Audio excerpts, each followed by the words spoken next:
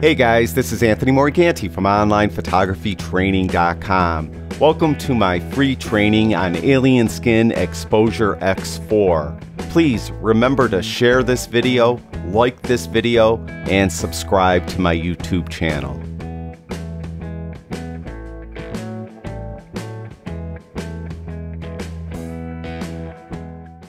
One thing that has always bothered me about Lightroom is that there's not an effective way to add realistic bokeh or lens blur in post production.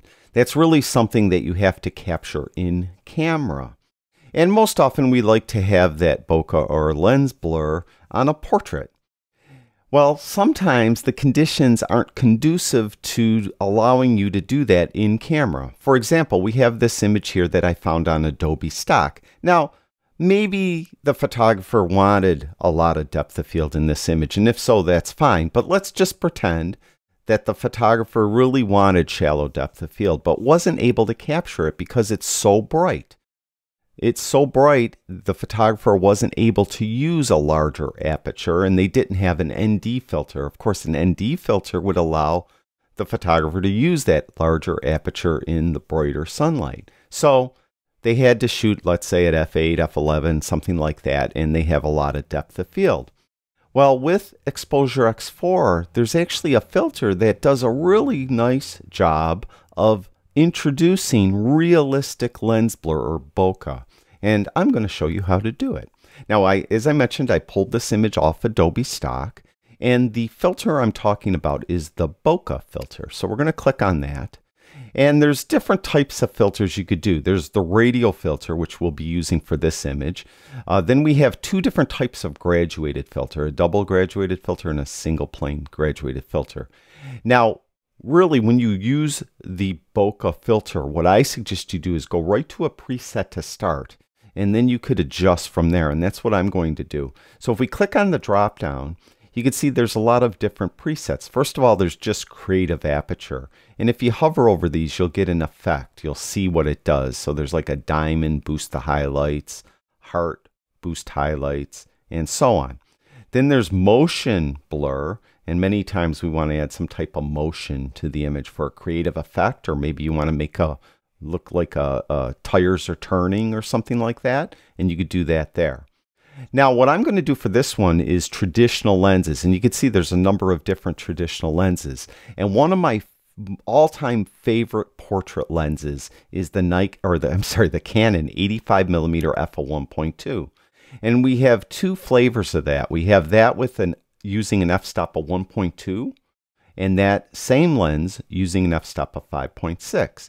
And just for the sake of demonstration, I'm going to pick the 1.2 because that one is the most blur and it's going to take the most readjusting to make it look nice on this image. So I'm going to pick that one and you can see it's a radial filter. So there it is. And you can see once it renders, it looks horrible. So we have to kind of fit it to our image. And if you look very closely on this inner circle, you'll see that there's handles. There's a handle there, there's a handle there. So what we could do now is we could just draw this out and make it so the plane of focus is on our model like that. Just like that. So I just basically turn the circle into an oval and you can see now the plane of focus is our model. Now between the solid circle and the dotted circle on the outside, that's the transition zone. And I want that to be greater. I don't want to be, that to be as abrupt. So I'm going to just draw this out and you'll see that it will make a, a more gradual transition from the in focus part to the out of focus part. And we'll bring that one in a little bit. Now, of course, it's way too blurry. It just doesn't look right. So we'll go down to the adjustments now and, you know, and make it look or fit our image. First of all, at f1.2, it has a mount way up. So we really can't be at f1.2. It just doesn't look right. So we're going to pull the amount down. And once it renders, you could get an idea what it looks like. And I kind of like it right there. Now, with zoom, what it will do, it will take the edges of the blur and it will just kind of zoom it out. Let me pull it and you can see how it kind of zooms it out. It kind of stretches it out more or less. And I think I like a little bit of zoom on, on the image. Not a lot, just a little. Twist will add a twist to it. And sometimes you don't really see it as much, but you can see there's a little bit of a twist there. See if it renders. Nah, it didn't do much. So it doesn't do much all the time. They're kind of in the middle. Go the other way. There it goes. See that kind of twist it did? Um, maybe we'll do a little bit of a twist, just for the sake of argument. Next is creamy. How much, how blurry do you want it? That's really what creamy is. So when you move it to the right, it just makes it more blurry. It's kind of like a mount, but not quite. And if we go to the left, you'll see it won't be as kind of creamy. It's more uh, distinct to what the edges are back in there. So we'll leave that relatively high. And for this specific preset, curvature doesn't matter. So that obviously won't do anything here. Also, the rotation is only for those circular blurs. So this is inactive as well. Now, the actual diaphragm of the camera, for the preset, an 85 millimeter f1.2, it's showing it's perfectly round. You could click on that and change it. So if you want like a heart, it'll just make your bokeh a little different when you choose these different shapes. So we'll stay with the circle. Now, uh, the highlights, do you want the highlights to be brighter in the blurry areas? If you do, jump down to boost and go that move that to the right and what you'll see it'll kind of blow out those highlights. Now in the case of this image, and you could change the threshold as well to make it affect more of the midtones or less of the midtones. Uh, for this image here, I'm not going to do that. Also, you could add grain, and this only adds grain to the blurry parts. So you turn strength up, and you'll see where it's blurry is now has grain and where you know you could change the size and all that so on this image I'm not going to do that as well so as I look at the image I actually like the blur going to the model's left so to the uh, photographer's right I really like that that effect there but over here, I don't like it at all. And quite frankly, you know, every photographer is different and there's no right or wrong way. But if I was shooting the shot, I wouldn't have had the model in the middle. I would have had the model to the left and I wouldn't have had all this real estate over here at the left. So for the sake of my style, I'm just going to crop it. And I don't mean an insult to the photographer that took, took it. Like I mentioned, everyone is different.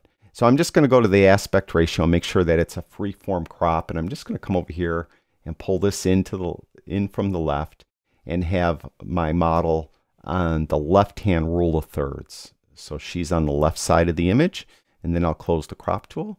And I think that looks pretty realistic. You could see how the blur goes out. You could always come back in and go back to bokeh and go back to our our uh, actual bokeh that we just did. And you could come and readjust things and make it fit better and fiddle with it. And I think it's really very, very realistic. I think it does a real, really nice job.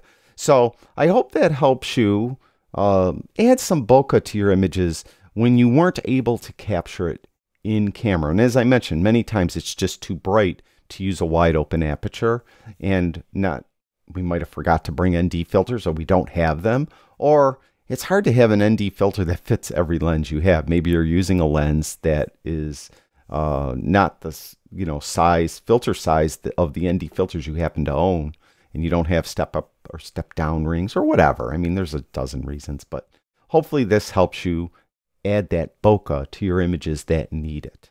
And I'd just like to thank you for watching my videos. I really do appreciate it.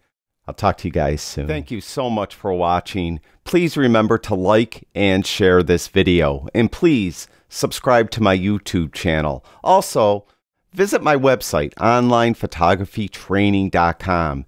There you'll find thousands of totally free videos and articles to help you with your photography.